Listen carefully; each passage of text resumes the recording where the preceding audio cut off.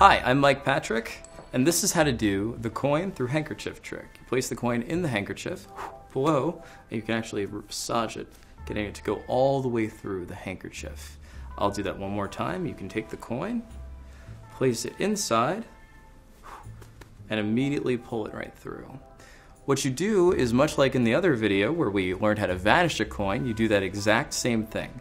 You do the coin vanish, which I explained, you turn your hand over, so now you have the coin secretly in this hand. So after you do the thing, you go like this, you pretend to put it in this hand, you turn your hand over, and then you place your thumb on the back. So this gives us this kind of condition.